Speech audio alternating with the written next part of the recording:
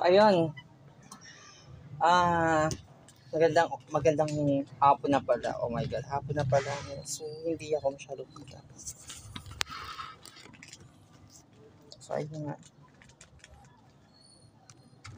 Medyo usay natin.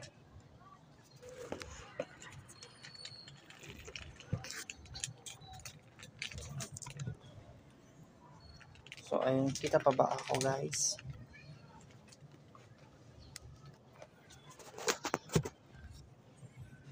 So, ayun na nga. Ah, magandang magandang hapon. So, mag-aana tayo. Lalo. So, mag magpapaganda, ah, magpapagwapo tayo. So, ah, nung nakaraan, ni-reveal ko sa inyo na, di ba, magpapabunot nga ako, magpapaganda ako ng, ng ngipin. So, ipapabunot ko na siya lahat. So, ngayon, kakibat noon yung paglalagay ko sa mukha ng mga ah, cream. So, hindi ko pa nare-reveal sa inyo, pero na, halos mauubos ko na yung nilalagay ko sa mukha ko kung bakit siya parang crystal or parang skin glass. So, yun nga. So, ngayon naman, nakakita ko sa Shopee. So, dito sponsor ha, binili ko to. So, nakakita ko sa Shopee ng pampaganda sa labi. Yung labi ko kasi, ah, honestly to speaking, dati ako nagtitake ng smoke. So, I have been ah, five years nang naka-stop mag-smoke. So, kahit 5 years na ako nag-stop ng smoke, till bakat pa rin yung yung itim, pangingitim ng labi. So ngayon, ang gagawin ko para siya matanggal or para mag-enhance, so nakakita ako sa TikTok ng ito siya. So titignan natin kung gaano siya ka mela o natural vitamin C. So baka naman, no? So, titingnan natin kung siya ba ay effective after 7 or 9 days. 7 to 9 days kung ano nga siya. So, ito na. Nakabox siya. Ayan.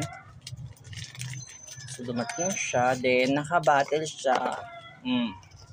Alam nyo na. Nakabattle. So, eto, sabi nila dito, pwede daw itong pangmukha. Pero, ah sa akin, sa labi ko din siya gagamitin. So, ito na.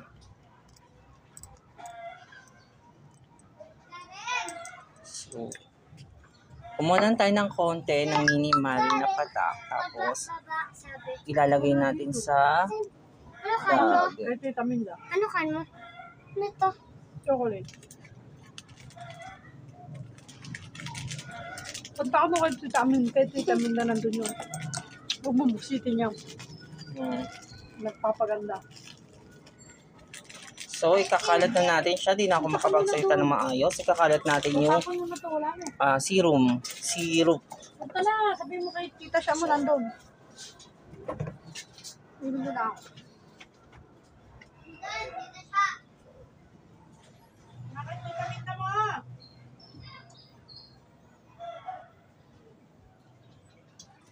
So, ayun na nga. So, after ah 9 days, ipapaloob ko kung ano yung nangyari sa labi ko. Check natin ulit. So, ayun. So, ayun. Nalagay natin. So, abangan nyo yung pagpapabunot ko. Abangan nyo po siya at kung paano ko siya, paano magbabago yung itsura ng upper tip ko. Mm sa mga susunod na video. Sana po eh subay, sub- subaybay lang po kayo lagi sa YouTube.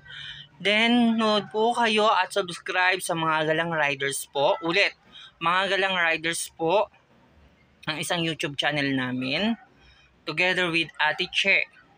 So, load-load po kayo doon. Subscribe din po kayo. Okay, maraming salamat po.